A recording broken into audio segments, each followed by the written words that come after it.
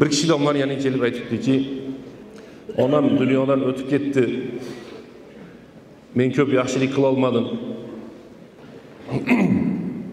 onamga ehson sadaqa qilmoqchiman. Birinchi o'lgan kunda uyga kirsangiz ham kiyimlarini yirtib yig'lab to'polon uch kundan keyin borsangiz bayram to'polon bo'layotgan bo'ladiyu. Odam shunaqa ekanda endi.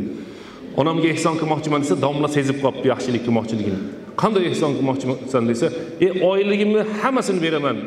Nima bo'lsa ham onamga ehson qilmoqchiman desa yarmini o'zingni olib qol yarmini bersang yetadi debdi. Yarmini olib qol lekin yarmini har oyda berasan debdi. Mayli beraman degan ekan va'da ber debdi. Va'da berdim. Oyligimni yarmini har oyda beraman debdi. Domla endi nima qilamiz u oylikni qayerga ishlatamiz desa suv chiqarib berasan debdi. Xuddi payg'ambarimiz sollallohu alayhi vasallamni hadislariga ko'ra. Saudiya arabistoniga borsangiz masjidlarda xolodilnik turadi. Suvlarni to'ldirib qo'yishadi. Yo'llarni bo'ylariga boshqa joylarga. Suvga juda muhtoj ular. Issiqda ham sovuqda ham suvga muhtoj. Shu odam aytadi o'ttiz uch yil oyligini yarmini berdi deydi. Maktabda o'qituvchi ekan. o'ttiz uch yil har safar oyligini olib kelib ba'zan to'rt besh oy ba'zan bir oyligini to'plab bir masjidga yo xolodilnik yo suv chiqarayotgan yo grant qilayotgan mana shunday ish bilan shug'ullanibdi. O'zini masjidiga besh yil burun halodinlik qo'ygan ekan. Yana namozga chiqib ketyapsam deydi haligi odam aytyapti. Namozga chiqib ketyapsa katta mashinada bir firmani odamlari kelib masjidga yangi halodinlik o'rnatayotgan ekan kattasini. Odamlar kelib aytibdi bu odam tanilib ketgan hammani ichida. Ey mashaalloh alloh rozi bo'lsin mana shuncha yildan beri davom etyapsiz.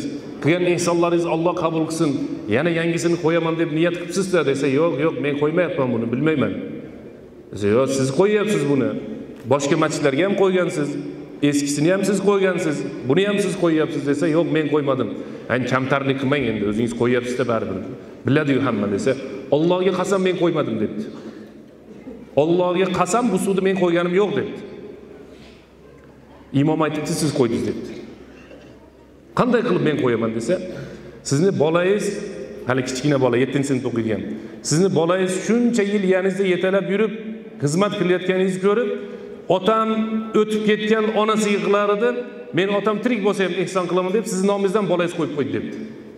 Yettinchi sinfda o'qiydigan bola marujnani yana bir mana o'yinchoqlarni pullarini to'plab otamni nomiga tirigidan ehson qilaman debdi. Ko'ryapsizmi? Onasiga davom ettirib turadigan sadaqa qiluvdi. Farzandni tirikligida davom ettirib turadigan sadaqani qilib qo'yyapti birodarlar shuning uchun so'zni nihoyasida jamoatimizga eslatamiz. Hurmatli jamoat savobni bir uch besh yetti xohlang kilo deng xohlang metr deng og'irligini yo sifatini bilib olingda savobni davom etib turadiganini tanlang. Vaqtincha bo'ladiganini emas otasi onasi dunyodan o'tgan odamlar masjidga qur'on kitob olib kelsin qo'shni uyiga ko'mir olib bersin kasallardan ziyorat qilsin va yana shunga o'xshagan mahallasidagi bir narsalarni to'g'irlab qo'yadigan bo'lsa davom etib turadigan sadaqa bo'ladi. Bu yerda besh oltita qissa voqealar bor edi tarixda bo'lib o'tgan lekin bizni vaqtimiz bo'lganligi uchun mana shu ehsonlarni biri payg'ambarimiz sollallohu alayhi vasallam madina munavvaraga borganlarida madina munavvarada yahudiylarni qabristoni bo'lgan. Masjid quramiz deganda sahobalar kelib aytdi yo rasululloh sizga berdik deganda yo'q dedilar.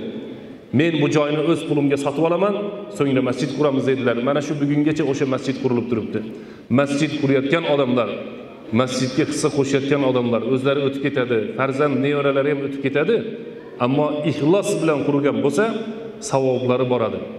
Qancha taomlarni yedik qancha kiyimlarni kiydik qancha mashinalarni mindik hammasi dunyoda qolib ketyapti. Ammo biror bir narsani bino qilib qurib yoki bir joyga bir narsa eksa payg'ambarimiz sollallohu alayhi vasallam qaysi inson bir daraxtni ekar ekan undan qushlar kelib yesa qurt kumuskalar yesa inson dunyodan o'tgandan keyin ham qurt kumuskalarni savobi ham borib turadi deyaptilar. Ota bobomizni maqoli yaxshidan boq qoladi deydi birodarlar. Alloh subhanahu va taolo hammalarimizni tavfiq hidoyatdan ajratmasin. Sadaqa jariyani davomiy savoblarni mukammal savoblarni qiladigan insonlar qatorida qilsin. Subhan robbika robbil izzati amma yasifun va salamun alal mursalin. Alhamdulillahi robbil alamin.